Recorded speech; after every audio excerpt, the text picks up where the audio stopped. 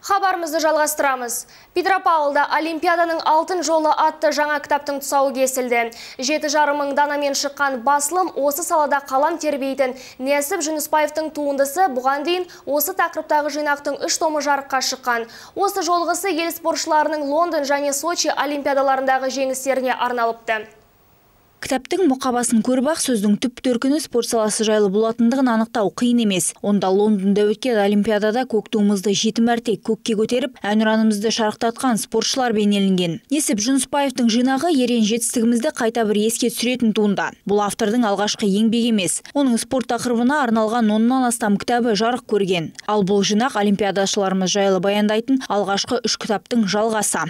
Соңғы кітапта мен Лондон мен Сочидегі олимпиада жайлы айтамын. Негізі әрине лондондағы олимпиада ол олимпиадада қазақстан спортшылары жеті алтын медаль алды он екінші общекомандный жалпы командалық есепте он екінші орын алды. Сондықтан да ол қазақстан тарихындағы ең үздік олимпиада сол олимпиада туралы. Ол төрт кітап менің ойымша қазақстан өзінің егемендігін алғалы қазақстан спортшыларының олимпиададағы шежіресі деп айтуға болады.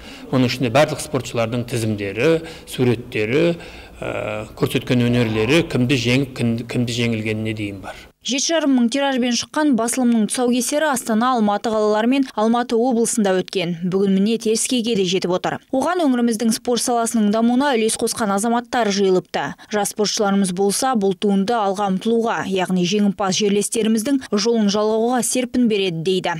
Көп сабақ алдық осы кітаптан.